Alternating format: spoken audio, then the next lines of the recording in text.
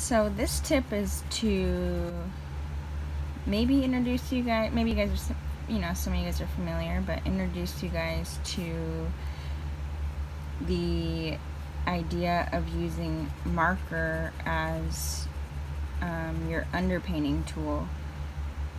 And I personally use this for watercolor, but you can use it underneath an acrylic painting or underneath a, a pastel drawing or pretty much underneath any other kind of more finalized media that you want to put it under. And I just think that um, water soluble pens really just make such a great transitional tool. I mean, not only are they great standalone tools, but I just use them interdisciplinary and I um, I I sometimes even forget where I've put watercolor down or where I've put marker down, but usually every piece that I do I'll start out with a a marker base. And that's just because when you put watercolor over top it blends as one material.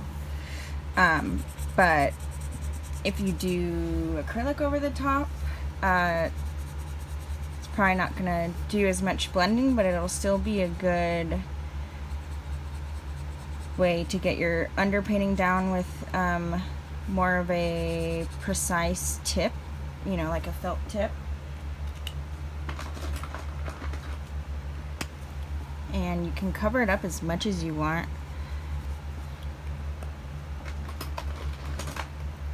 but I will go in with any sorts of marker it just doesn't even matter the brand um, except for that I just I, I don't really use alcohol based markers during this process because they are going to kind of sink into the paper more and you're not going to be able to blend them out as much as a water soluble marker.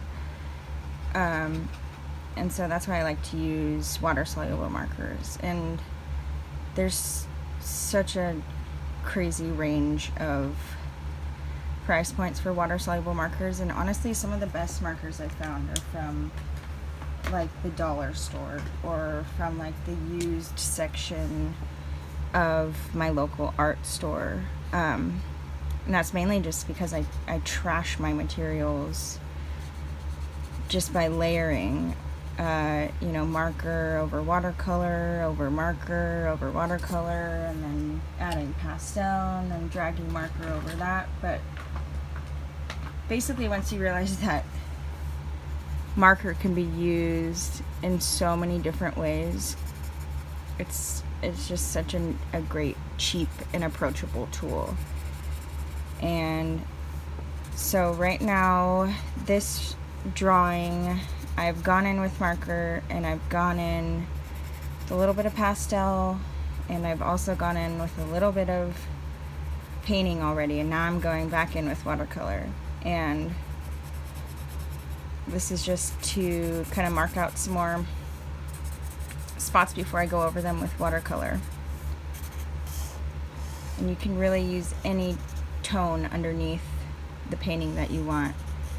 Um, I just mainly use, you know, whatever markers next to me because you can cover up the tone and color correct it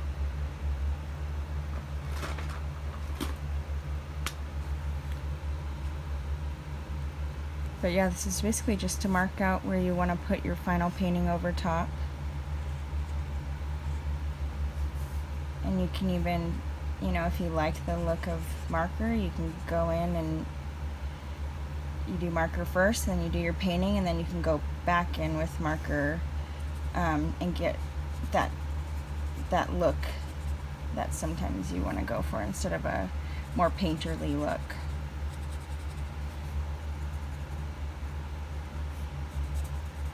And so I just interchange the two.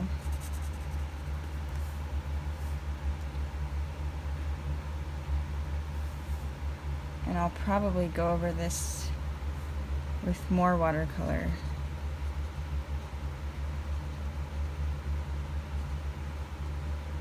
And when you put watercolor over top of these water soluble markers, they just blend so nicely. So now I'm just gonna hit it with some blue. And I'm gonna try to bring the face up from the background just a little bit. And you can even integrate some of this blue into the face, why not?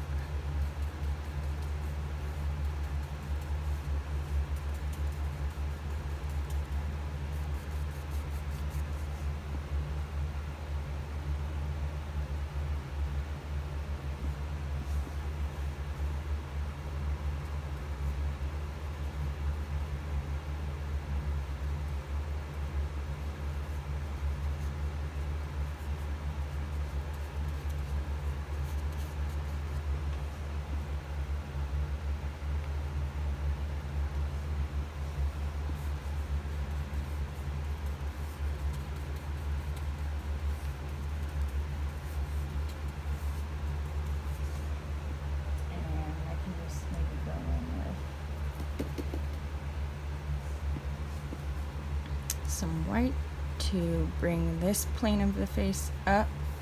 And this is, you know, something I can't really achieve with marker, and so that's why it's great to just use them interchangeably. You know, using marker and then going into your painting. It's just such a unique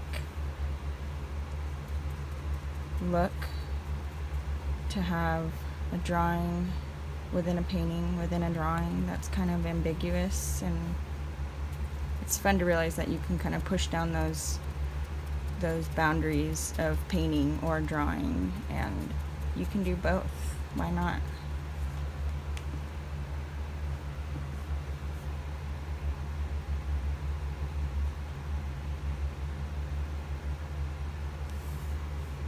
And like you really can't go wrong because if you aren't happy with placement or the color or whatever of something, you can literally just block it out with watercolor and then carve it back in with with marker.